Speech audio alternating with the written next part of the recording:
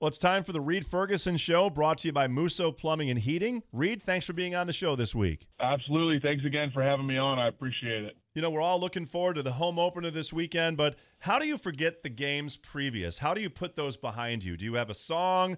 Uh, do you hang out with friends, talk to family? Like, what's your go to to get away from all that? Uh, yeah, great question. I think uh, the easiest thing would be just getting back out on the practice field. Um, I was talking to our assistant special teams coach yesterday. He, uh, coach Cory Harkey, he played in the league for the Rams for five or six years.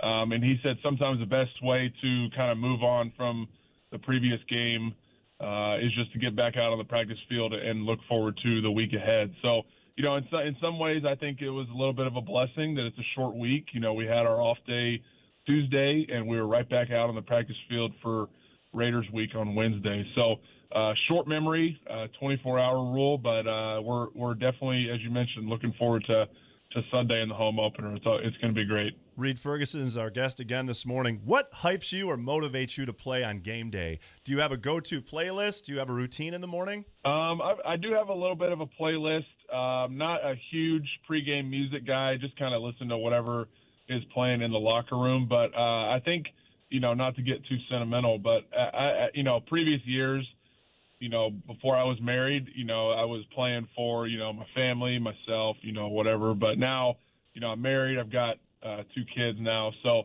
uh, you know, do you know, going out there and performing uh, and and doing my best for them and making them proud is, is kind of what motivates me now. Reid Ferguson is joining us, getting ready for the home opener at Highmark Stadium this weekend.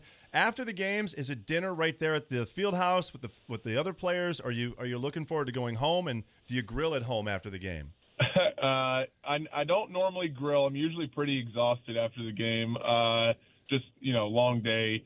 But uh, you know, I, I I sometimes I grab something from the uh, from the facility. They usually got a little grab and go dinner for us on the way out. Uh, sometimes we eat at home. Sometimes we'll uh, grab food from somewhere and and bring it back to the house. But really, uh, just looking forward to you know after the game, spending time with family, catching up.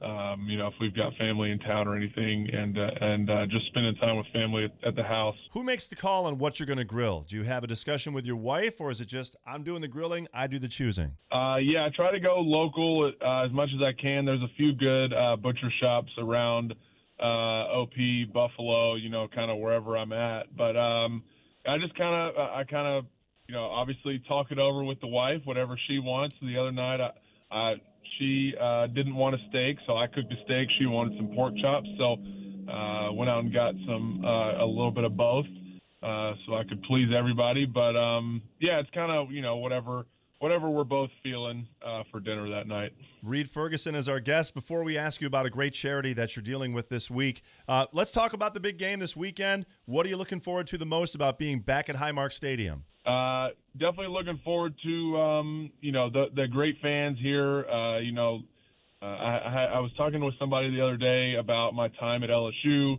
and uh, how it kind of relates to my time here in Buffalo. And the obvious the obvious crossover is the fan base. You know, it's it's both both fan bases are some of the most passionate in the game. Um, the, the you know the tailgating, obviously, you know I, I love seeing that on my drive in in the mornings. Um, yeah, just just being back with these fans that that care so much about us on the field, off the field, you name it. So uh, you know, really really getting back and and getting a chance to perform uh, in front of the people that love watching us the most. And um, yeah, that, that's uh, that's what I'm looking forward to. Reid Ferguson is our guest, one of the most generous and charitable guys you'll ever meet. Uh, who would you like to uh, give a shout out to today? Uh, I'm going to give a shout out to the Punt Foundation. Uh, Gwen and her crew over there have done just a fantastic job over the years um, since I've known them, since I've been here in Buffalo, and uh, and they they just do such a great job raising money and sending funds out and helping out families uh, that have been uh, affected by childhood pediatric cancer. So uh, the Punt Foundation uh, is my charity for the week. Yeah, and it's it's a great way to uh, help out the kids here in the Western New York area and families too. You can go to puntpediatriccancer.org for more on that. Reid Ferguson, thanks for your time. Good luck against the Raiders this weekend. Thank you, Clay. I appreciate it. And the Reid Ferguson Show brought to you again this week by Musso Plumbing and Heating, your 24 7 lifeline. From daily drains to midnight mishaps, Musso's got you covered. Go Buffalo, go Musso.